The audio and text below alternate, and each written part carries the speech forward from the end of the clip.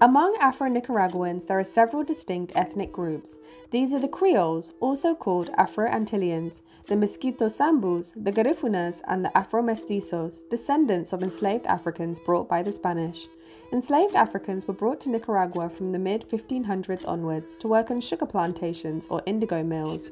In particular, they were located around the city of Bluefields, which to this day is mostly inhabited by people of African descent. Many Afro Antilleans migrated to Nicaragua in the 19th and 20th centuries to work on banana plantations owned by the American United Fruit Company.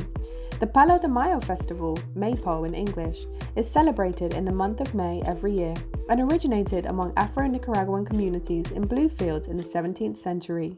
Famous Afro Nicaraguans include June Beer, an artist, poet, and activist, and Scharlette Allen Moses, a model who was the first person of African descent to win the title of Miss Nicaragua.